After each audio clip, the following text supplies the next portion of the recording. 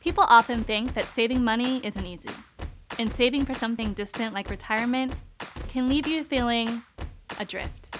You may need a wind at your back. That's where an IRA can come in. Here's how it works.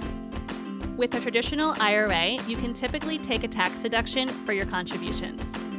That can boost your tax return now while you save for retirement. It's one of the ways, along with Roth IRAs and 401ks, that the government encourages you to save. But remember that traditional IRA accounts are different from other savings accounts.